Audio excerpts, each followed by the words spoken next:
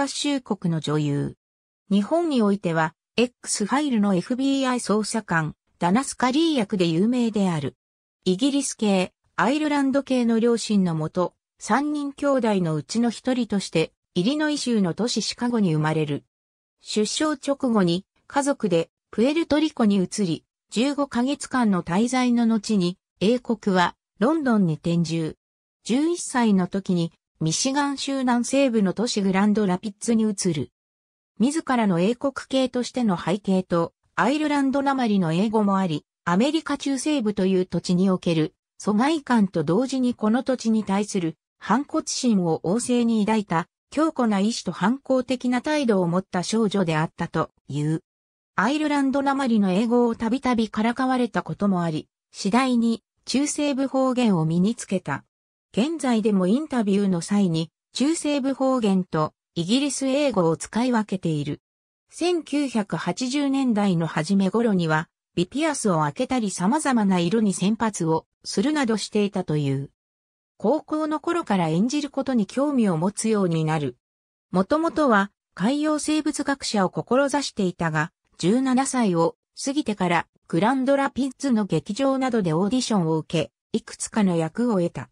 デポール大学で演劇の学士号を取得。オフブロードウェイで舞台活動を続ける中、X ファイルのオーディションを受け、300人の応募の中からダナスカリー役に選ばれる。1997年にはアニメシリーズザ・シンプソンズでデイビッド・ドゥカブニーと共に X ファイルのスカリー捜査官役で声のゲスト出演をしている。またスタジオジブリのアニメ作品、もののけ姫の北米版において、モロの声を担当した。2014年、舞台、欲望という名の電車のブランチ・デューボア役において、ロンドンイブニングスタンダードシアターアワードの主演女優賞を受賞。2021年、テレビドラマシリーズ、ザ・クラウンにて第78回ゴールデングローブ賞、助演女優賞を受賞した。X ファイル、真実を求めて、公開初日。次男を妊娠したアンダーソン1994年にテレビ業界で美術監督として働くエノール・クラウド・クロックと結婚し、翌1995年に長女を出産したが、1999年に離婚。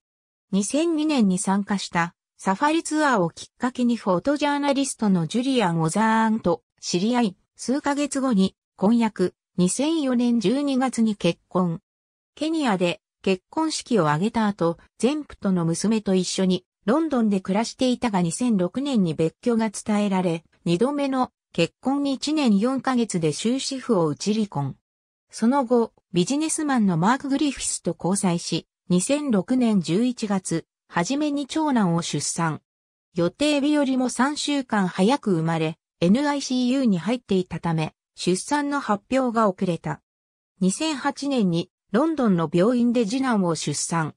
2012年にマーク・グリフィスとも別れている。ありがとうございます。